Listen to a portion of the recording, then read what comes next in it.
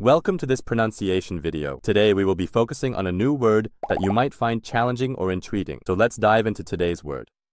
앉으라고, which means Sit down in Korean. let's say it all together. 앉으라고. 앉으라고. 앉으라고. One more time. 앉으라고. 앉으라고. 앉으라고. Thank you for joining us on this adventure in pronunciation. Remember, language is a journey, not a destination. Keep exploring, experimenting, and expanding your linguistic horizons. We'll see you next time.